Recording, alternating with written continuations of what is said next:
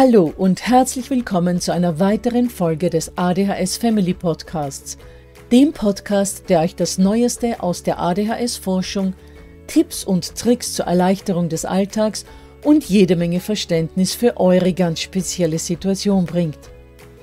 Ich bin im Übrigen Anna, vor 16 Jahren noch verzweifelte Mama eines ADHS-Kindes. Aber heute, viele Jahre und mehrere Fortbildungen später, bin ich Expertin für ADHS und eine sehr entspannte Mutter eines mittlerweile 20-Jährigen, der trotz dieses Syndroms zu einem glücklichen und beruflich erfüllten jungen Mann herangewachsen ist. Ich möchte euch mit diesem Podcast genau dort zur Seite stehen, wo auch ich vor vielen Jahren Hilfe gebraucht hätte. Denn ich wünsche mir nichts mehr, als dass es euch auch gelingt, euer Kind in ein glückliches und erfolgreiches Erwachsenenleben zu begleiten. Bevor es aber mit der Episode losgeht, lasst mich noch darauf hinweisen, dass ich in meinem Podcast ab nun immer nur von ADHS spreche, weil das in der Fachwelt so üblich ist. Gemeint ist damit aber auch immer die verträumte Variante der ADS. Ja, ihr Lieben, in den ersten drei Interviews hat Lea uns ja schon eine ganze Menge Wissenswertes zum Thema ADHS und Grenzen wahren bzw. ADHS und Selbststeuerung mitgegeben.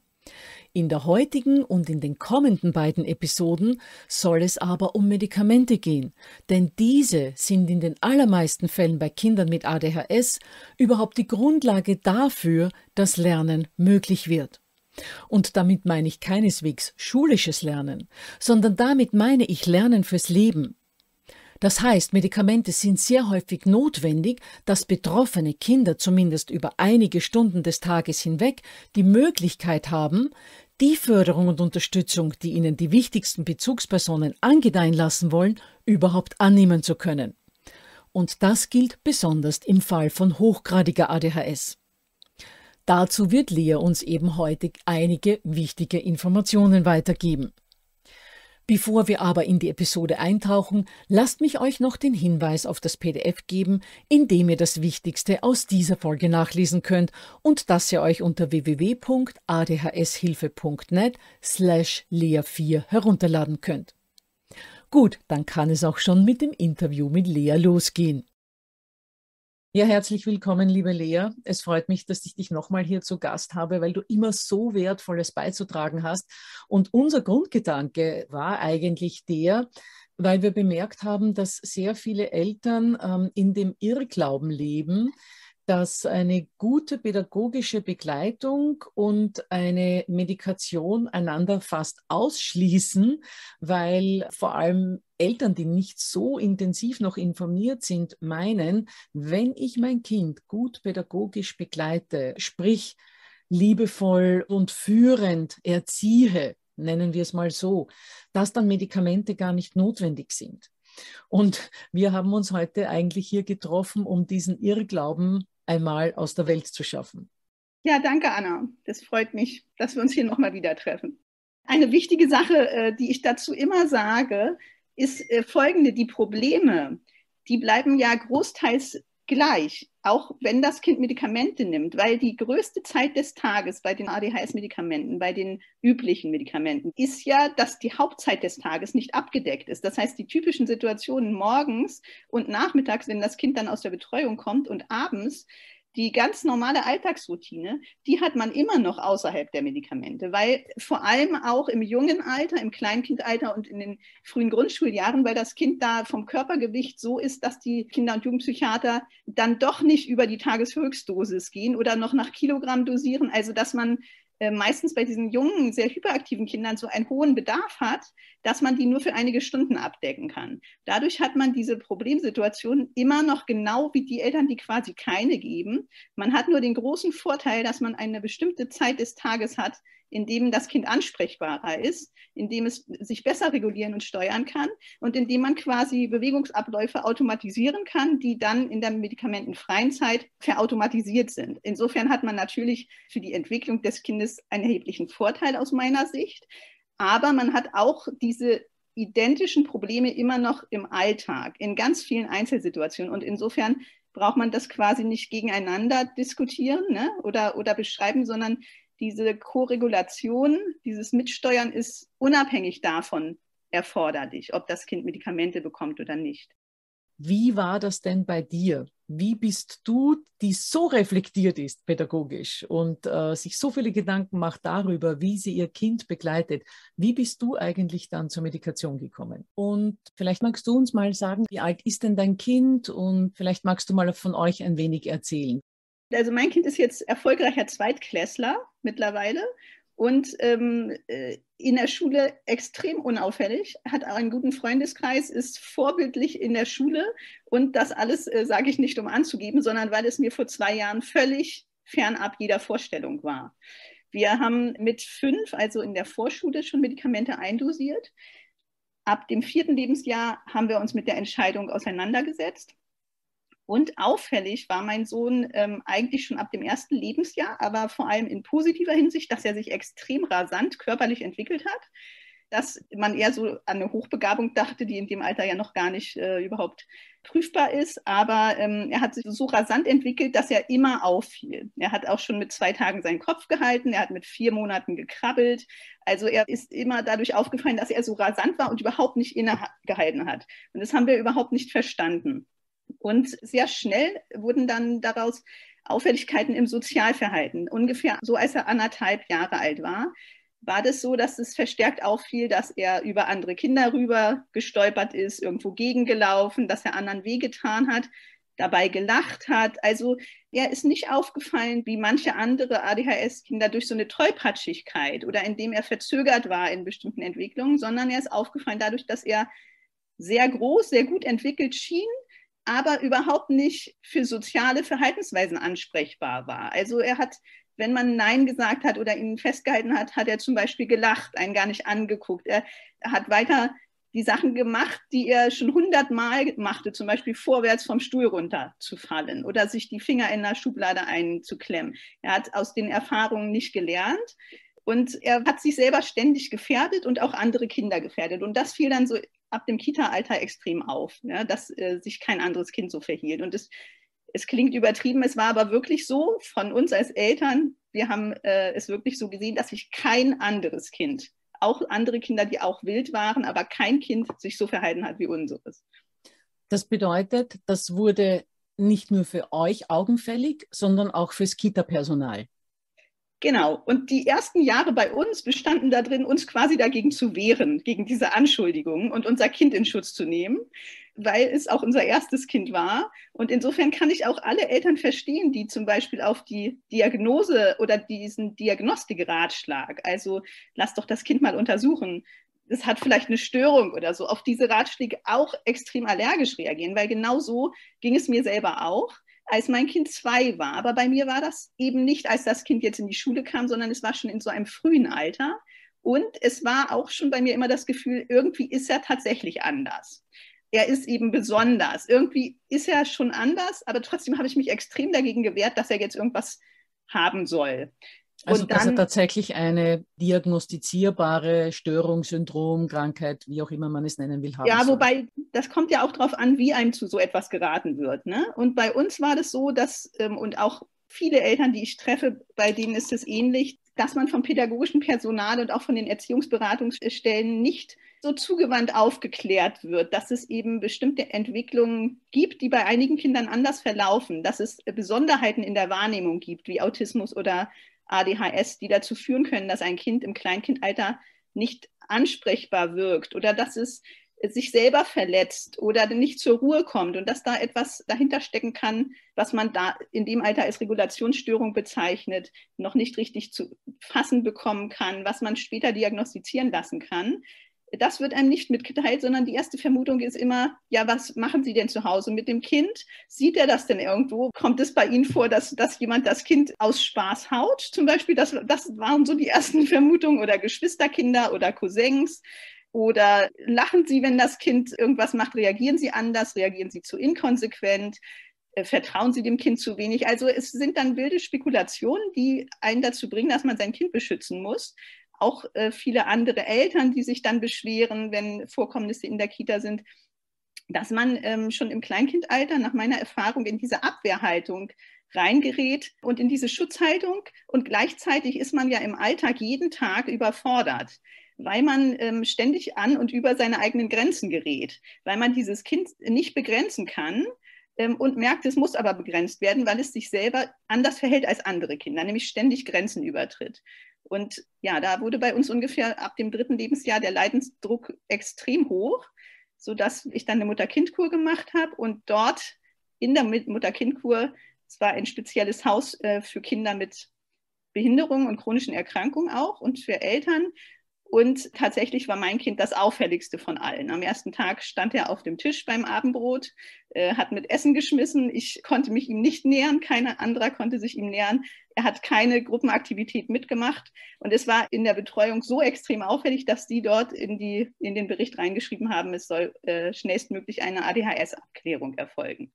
Ja, Lea, also das klingt ja alles wahnsinnig anstrengend. Das heißt, ihr hattet dann irgendwann die Diagnose und wann wurden denn dann Medikamente vorgeschlagen? Wir hatten wie, wie viele Eltern in dem Alter, wenn das Kind noch unter sechs ist, zunächst eine Verdachtsdiagnose. Die reicht aber schon, dass man Medikamente ausprobieren kann. Und so haben wir zunächst als eine Art zusätzliche Option gesagt, dass wir Medikamente eindosieren, also einstellen. Das heißt, den Bedarf ermitteln, den er hat. Wir hatten aber nicht vor, sie dann durchgängig schon zu geben. Das hat sich dann geändert. Nämlich als wir die Wirkung der Medikamente gesehen haben, hatte sich dieser Gedanke relativ schnell erledigt, weil es so phänomenal war. Und das ist auch wichtig, wenn man an die Begleitung oder die pädagogische Begleitung des Kindes denkt. Dann ist es so, dass die Medikamente häufig äh, das nicht nur ergänzen, sondern überhaupt die Voraussetzung sind, dass man eine vernünftige Begleitung als Eltern sicherstellen kann. Weil mein Sohn zum Beispiel einfach die Aufmerksamkeit, die dafür erforderlich ist, mich anzuhören. Diese Aufmerksamkeit hatte er einfach nur mit Medikamenten. Und auch äh, was die Körperwahrnehmung angeht, da war das das Erste, was aufgefallen ist. Und zwar schon bei einer äh, Dosis, die nachher nicht der Enddosis entsprach bei uns, sondern schon im Eindosieren war es so, ich kann das ja mal schildern, weil das war wirklich so ein, äh, das war ähm, ja so überwältigend. Und sowas kennen ja viele Eltern auch die dann Medikamente eindosieren, die sich dann dafür entscheiden, unabhängig dafür, ob sie das dann weiterführen. Ja? Es äh, kommt ja auch häufig dazu, dass die Kinder nur vorübergehend Medikamente benötigen oder dass sie die Nebenwirkungen nicht vertragen und man wieder aufhört. Trotzdem kennen fast alle Eltern in der Eindosierungsphase diese Momente, wo man innehält und staunt, ja, wo man so überwältigt ist davon. Und äh, diese Erfahrung ist auch für einen selber ganz nützlich, weil man dann erst unterscheiden kann, was macht das Kind eigentlich willentlich, was, was kann es eigentlich steuern und was passiert ihm. Ja, Lea, und wie war das dann im Kindergarten? Haben die Erzieher gemerkt, dass äh, euer Sohn jetzt Medikamente bekommt? Wir hatten uns entschieden, das in der Kita nicht zu sagen, zunächst und äh, die Eindosierung abzuwarten. Und ähm, tatsächlich äh, lief es so viel besser, dass, dass wir dann selber gefragt worden sind, ähm, wann sich das Verhalten unseres Kindes so verbessert hat. Und äh, wir dann erst nach drei, vier Monaten gesagt haben, dass wir ihm Medikamente geben. Das führte dann zu einem großen Aufschrei äh, zum Teil, weil äh, das gerade im Kleinkindalter doch sehr viel mehr ähm, Menschen sind, nach meiner Erfahrung, die einem das dann vorwerfen oder die das dann kritisch sehen, die Medikation. Aber der Punkt ist ja, was Außenstehende gar nicht nachvollziehen können, weil die natürlich zum Beispiel das Verhalten eures Sohnes, so wie du das jetzt geschildert hast, ja nicht in dieser Dichte mitbekommen und gar nicht abschätzen können, was das auch seelisch über, den, über, einen, über die Jahre hinweg mit ihm macht wenn er ständig aneckt, immer wieder zurechtgewiesen wird, immer wieder Abwertung und Ausgrenzung erfährt und das natürlich den Selbstwert in relativ kurzer Zeit komplett kaputt macht, es ist ja schon, das sind ja, ich sage jetzt mal, die Drogen im Teenageralter vorprogrammiert. So, so dramatisch das jetzt klingt, aber es ist so, die Erfahrung zeigt es. Und da ist mir lieber als Mama, ich gebe meinem Kind sogar im Kleinkindalter schon, wenn auch mit blutendem Herzen, aber ich gebe diese Medikamente und ermögliche ihm frühzeitig schon eine einigermaßen ähm, förderliche Entwicklung, die dann erst möglich ist ja, ich, ich würde sogar das blutige Herz da rausnehmen, weil ehrlich gesagt hat man eine Verantwortung als Eltern und wenn man ein Kind hat mit einer Behinderung oder einer chronischen Erkrankung oder auch einer Besonderheit, ja, weil ich ADHS nicht so gerne als Erkrankung bezeichne, ähm, dann hat man eine besondere Verantwortung und man, man muss dann abwägen, was dem Kind und einem selber quasi nützt und was dem Kind oder der Familie schadet. Und ähm, wenn man ein schwer betroffenes Kind mit ADHS hat, dann hat das Kind meiner Meinung nach auch ein Recht darauf, sich trotzdem entwickeln zu können wie andere Kinder. Und ich hatte eben einen Sohn, der sehr früh, wahrscheinlich auch durch seine, seine hohe Intelligenz, die er zusätzlich hat zur, äh, zum ADHS, sich diese, ähm, dieses oppositionelle Sozialverhalten selber zugelegt hat als eine Abwehrstrategie, um damit umzugehen, dass er jeden Tag kritisiert wird. Und wir hatten Situationen, da war er zweieinhalb oder drei im Bus, da hat ein, äh, ein Baby geschrien und eine andere Frau hat gesagt, was ist denn mit dem Kind? Und dann hat er zu mir gesagt, ich glaube, ich habe das gebissen. Obwohl er mit diesem Kind gar nichts zu tun hatte. Also ähm, es war quasi so, dass er äh, sich in dem Alter, obwohl er ja seine eigene, ähm, eigenen Handlungen gar nicht wahrgenommen hat häufig, hat er sich trotzdem quasi für alles Elend der Umgebung verantwortlich gefühlt schon. Und, äh, Ach das so, das heißt, er hatte das Kind gar nicht gebissen. Nein, er hatte das Kind nicht gebissen. Wir kannten Aha. das Kind gar nicht. Es war auch äh, fünf Meter von uns entfernt. Ach so. Und so war es zum Beispiel auch bei den anderen Kindern, auch an Tagen, in denen, äh, wo mein Sohn gar nicht in der Kita war, wurden dann nachher Vorkommnisse, wenn da etwas vorgefallen war, haben die Kinder dann gesagt, ja, das war doch er, obwohl, klar, obwohl er gar nicht da war. Also ähm, und damit haben viele, viele Eltern oder Familien auch im Kleinkindalter zu tun. Dem Kind werden Sachen zugerechnet, die das Kind weder steuern kann.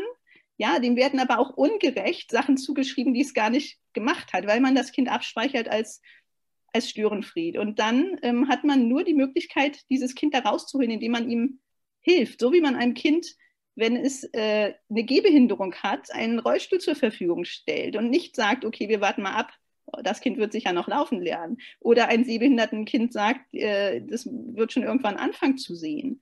Ähm, genauso muss man einem Kind, wo man merkt, es lernt nicht aus Erfahrung. Es kann seine, es äh, weicht in der Entwicklung immer weiter von Gleichaltrigen ab. Es, mit dem Kind ist, ist irgendetwas anders. Da hat man auch die Verantwortung, meiner Meinung nach.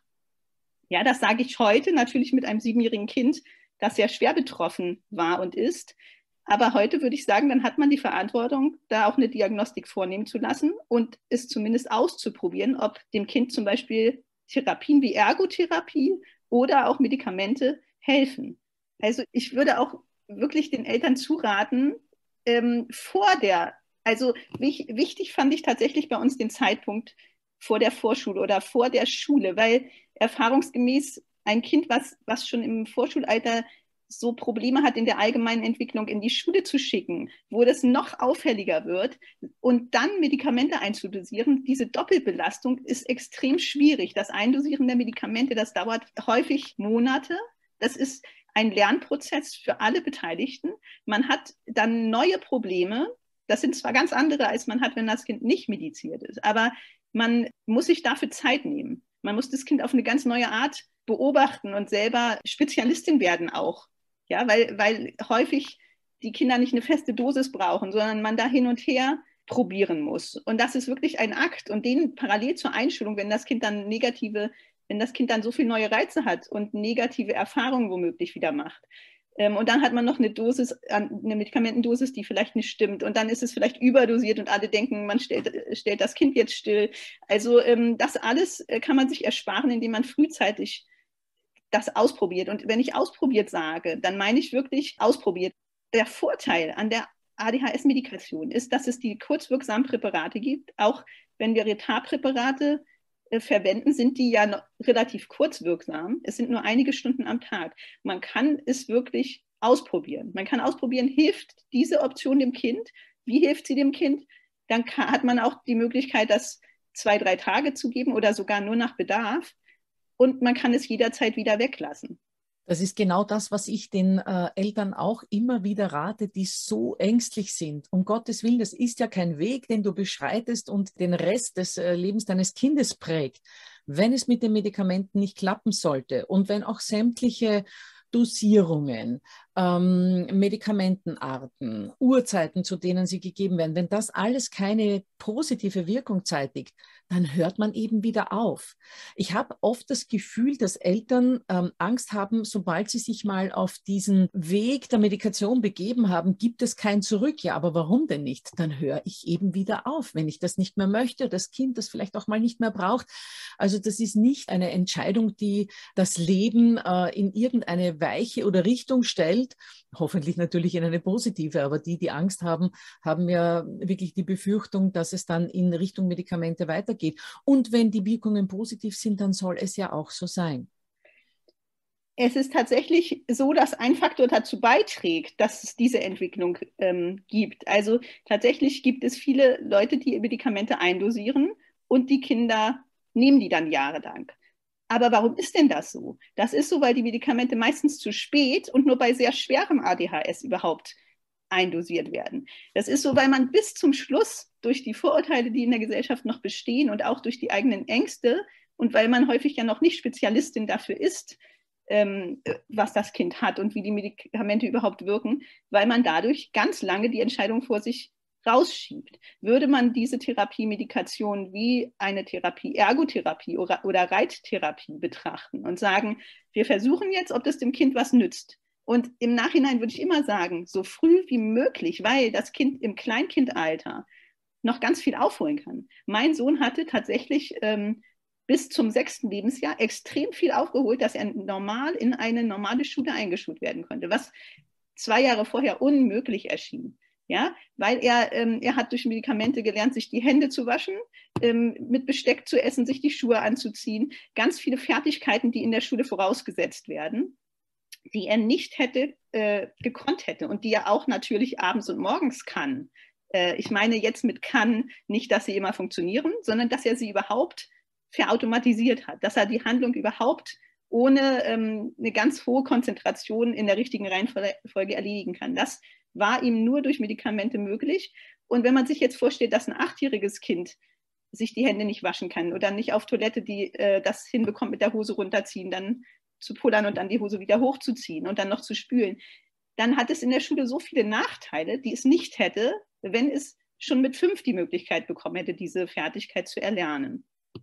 Problem ist natürlich nur, dass ähm, Kinder mit ADHS oftmals gar nicht so früh auffällig werden, sondern dass diese Auffälligkeiten sich dann erst in diesem Setting Schule zeigen, weil dort eben länger stillgesessen werden muss, weil dort eben eine erhöhte Konzentration da sein muss, weil die Mama nicht mehr da ist, um organisierend und begleitend dabei zu sein und zu gucken, dass die Hausaufgaben nicht äh, in der Schule vergessen werden, etc. etc. Das heißt, ich sage jetzt mal bei leichter und mittelgradiger ADHS, lass es mich mal so stereotyp ausdrücken, fällt es oftmals äh, sehr spät auf und eben erst in der Schule. Und dann hat man das Problem, dann muss man in der Schule eindosieren, weil vorher wusste man ja gar nichts davon. Ja, ja, das stimmt natürlich. Und, äh, und weil ich nun Mutter eines schwer betroffenen Kindes äh, bin, möchte ich zuletzt nur noch mal äh, an alle anderen, die auch ähm, ein, ein Kind haben, was so früh auffällt, nochmal appellieren, dass man auch diese sensomotorischen ähm, Schwierigkeiten schon früh angeht. Also weil sehr, sehr viele, fast alle Kinder mit schwerem ADHS haben schon im Kleinkindalter, und zwar schon mit zwei, drei Jahren beginnt das schon, dass man das sieht, ähm, schon Abweichungen in der, ähm, in der Wahrnehmung und in der Bewegung und in dem in der Koordination, in der Kraftdosierung, ja, bei der Körperwahrnehmung, die man schon feststellen kann. Man muss nicht auf die ADHS-Diagnostik warten. Man, ähm, und zwar, und auch äh, also es ist quasi ein eigenständiges Störungsbild, das wird SIS genannt, sensorische Integrationsstörung, was bei fast allen Kindern, die später eine frühe Autismus- oder ähm, ADHS-Diagnose erhalten, also vor dem sechsten Lebensjahr oder mit dem sechsten Lebensjahr, zusätzlich vorliegt. Das kann man schon mit zwei, drei Jahren diagnostizieren oder mit, äh, spätestens mit vier und kann dann schon Ergotherapie machen. Auch diese Möglichkeit sollte man eigentlich, sollte man meiner Meinung nach nicht ungenutzt lassen, weil eine Frühförderung macht nur Sinn, wenn sie früh erfolgt. Und vieles, was wir später an Sekundärstörungen se sehen bei ADHS-Kindern im Schulalter, ließe sich meiner Meinung nach verhindern, wenn man im Kleinkindalter äh, die, die Weichen anders stellt. Nicht nur deiner Meinung nach, Lea, sondern das sagen auch die Studien. Also es ist immer besser, präventiv zu handeln, als schadenminimierend zu handeln. Das, nicht zuletzt deshalb gibt es auch den Unterschied zwischen Primärprävention, also zu versuchen, einen Schaden zu verhindern, und Sekundärprävention, sprich versuchen, den Schaden, der schon entstanden ist, zu minimieren. Ja, Lea, also das war bis jetzt alles sehr, sehr spannend und erhellend. Ähm, gibt es noch irgendwas, das du unseren Hörern mitgeben willst? Ja, ich würde nämlich gerne noch zu dem Gedanken davor, den du gesagt hattest, äh, etwas sagen, was das leichtgradige und mittelgradige Auftreten von ADHS erst im Schulalter angeht. Das ist ganz interessant, das äh, sehe ich sowohl bei meinem Sohn als auch bei ähm, befreundeten Eltern mit einem Kind mit schwerer Hyperaktivität, das schon äh, mit Medikamenten in die Schule gestartet ist. Da sehen wir jetzt äh, in der Grundschule in den ersten Jahren, dass unsere Kinder viel weniger auffallen als andere Kinder in der Klasse, nämlich die undiagnostizierten ADHSler, die äh, nur mittel- oder leicht betroffen sind. Weil ähm, viele Kinder in diesen ersten Grundschuljahren ja bis jetzt gut durchs Leben gekommen sind und ausschließlich, sagen wir mal, leicht im sozialen Bereich oder bei, bei, mit Konzentrationsproblemen zu kämpfen haben, die dann eben erst in der Schule auffallen, die dann aber extrem auffällig werden in diesen ersten Schuljahren. Daher kommt es dann zu einem Ansteigen der ADHS-Diagnosen wenn ich mich nicht irre, so ab der dritten, vierten Klasse herum, dass viel, viel mehr Kinder plötzlich eine ADHS-Diagnose haben als eben zuvor. Und das Interessante ist, dass unsere eigentlich schwerer betroffenen Kinder jetzt einen großen Vorteil in der Schule haben, dass sie das nämlich schaffen durch die Medikation oder auch dadurch, dass sie die in diese Strukturen reingewachsen sind, ja, in diese Begleitung, durch die, durch die Begleitung im Kleinkindalter schon.